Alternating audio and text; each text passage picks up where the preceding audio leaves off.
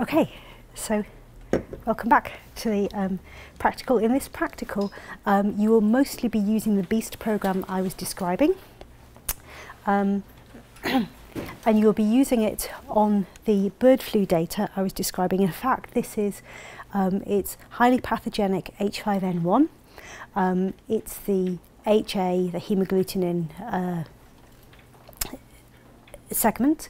Um, there are 92 sequences um, from approximately 10 year time frame and it's from domestic galliforms, chickens, that's chickens and turkeys, domestic anteriforms, wild anteriforms and it's from several regions uh, in Asia, Africa and Europe.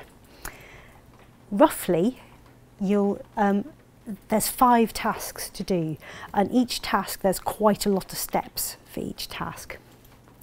Um, roughly, first of all, you will check the clock-like behaviour of the um, of the sequences using a program called Pathogen.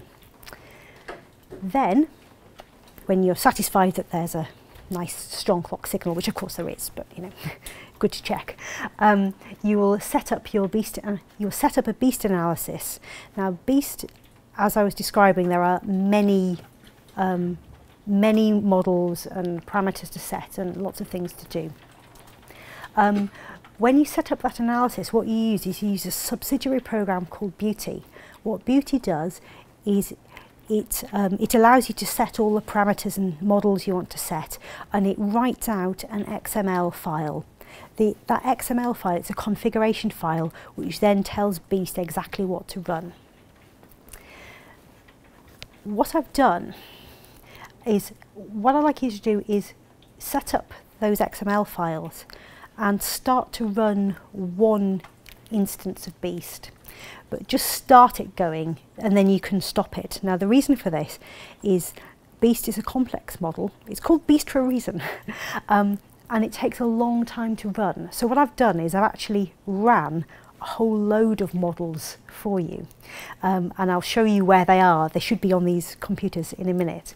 Um, and some of which take Um, in fact, you know, from, from my point of view, this is a small data set. 92 sequences is actually quite small.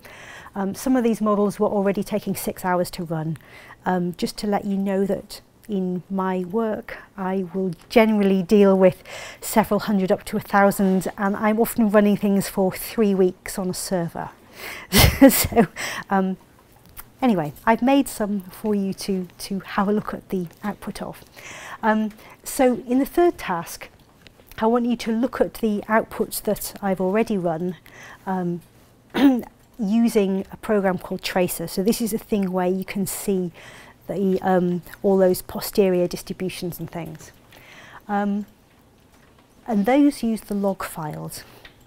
Then, when you're happy that you, your um, chains have converged and you've got nice samples, um, I want you to make trees um, MCC trees from the trees file and display them in Figtree um, and then you can, I think you use Figtree this morning, but there are many extra settings in Figtree to add the timescales, to add the colours according to location or host.